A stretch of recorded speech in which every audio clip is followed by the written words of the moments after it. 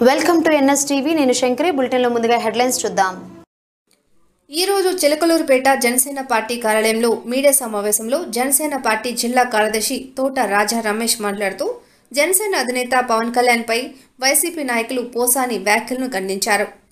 ప్రజారాజ్యం టైంలో పోసారని చిలకలూరుపేటకి వచ్చి కష్టపడిన కార్యకర్తలకు కృతజ్ఞతలు చెప్పకుండా గుంటూరు నుంచి పారిపోయారని నువ్వా పవన్ కళ్యాణ్ గారిని విమర్శించేదని ఆయన అన్నారు. ఇకనైనా ప్రజా సమస్యలపై స్పందించాలని లేకపోతే నీకు తగిన సమయంలో ప్రజలే బుద్ధి చెప్తారని ఆయన అన్నారు. ఈ కార్యక్రమంలో సంయుక్త కార్యదర్శి సుబాని కాకుపాను రమేష్ తదితరులు పాల్గొన్నారు. మా జన జనసేన అధినేత పవన్ కళ్యాణ్ గారు ఆ రోజు ఆ ఎన్నికల కోడ్ను ఉల్లంఘించి చిలకలూరుపేట వచ్చి నీకు ప్రచారం చేయడం జరిగింది. దాని ప్రతిఫలంగా చిలకలూరుపేటలో ప్రజారాజ్యం పార్టీకి అప్పుడు పద్దెనిమిది వేల ఓట్లు పైచులకు ఆ రోజు రావడం జరిగింది. అటువంటి పవన్ కళ్యాణ్ గారి మీద నువ్వు విమర్శలు చేసేది.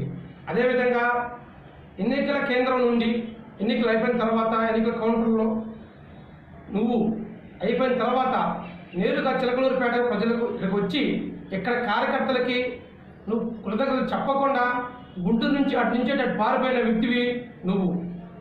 అదేవిధంగా ఆ రోజు అప్పట్లో నువ్వు ఎన్నికల ప్రచారంలో భాగంగా ప్రతి గ్రామానికి ప్రతి ఊళ్ళకి వెళ్ళినప్పుడు చర్చిలకి మేము చందాలిస్తాము అదేవిధంగా మసీదులకి దేవాలయాలకి చందాలిస్తానని చెప్పి డబ్బు మద్యం పంచకుండా కార్యకర్తల యొక్క డబ్బుతో ఎలక్షన్ చేసి ఇక్కడి నుంచి పారిపోయిన వ్యక్తి మనం- వ్యక్తివి నువ్వు. అటువంటి వ్యక్తివి నువ్వు ఈరోజు పవన్ కళ్యాణ్ గురించి విమర్శిస్తావా? నీకు నిజంగా దమ్ము ధైర్యం ఉంటే నీకు నిజంగా ప్రజల్లో నీకు అభిమానం ఉంటే మరి నీవు నువ్వు దేవుడిగా భావించి జగన్మోహన్ రెడ్డి నీకు మన రెండు వేల పంతొమ్మిదిలో ఎన్నికల సీట్లు ఇచ్చి నిలబెట్టాలా? మరి నువ్వు అటువంటి వ్యక్తివా నువ్వు? కేవలం ఎందుకు ఇవ్వలేదు? జగన్మోహన్ రెడ్డి నీ దగ్గర డబ్బు లేదు. నువ్వు జగన్మోహన్ డబ్బులు ఇవ్వవు కాబట్టి ఎన్నికల్లో డబ్బులు ఖర్చు పెట్టవు కాబట్టి నీకు జగన్మోహన్ రెడ్డి డబ్బులు ఇవ్వాలా? అటువంటి వాడివి నువ్వు. నీకు జగన్మోహన్ రెడ్డి సీట్ ఇవ్వాలా? నువ్వా మా పవన్ కళ్యాణ్ గురించి మాట్లాడేది? నువ్వా దమ్ము ధైర్యం గురించి మాట్లాడేది? సిగ్గుండాలా? నీకు నువ్వు సినిమా ఇండస్ట్రీలో నువ్వు ఒక హాస్య నటుడివి.